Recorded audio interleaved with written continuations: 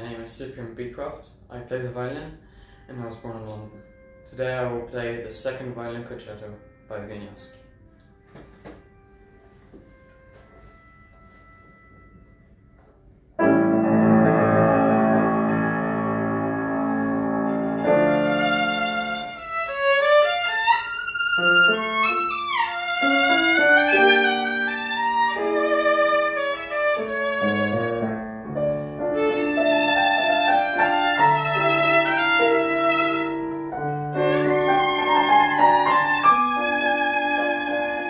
Música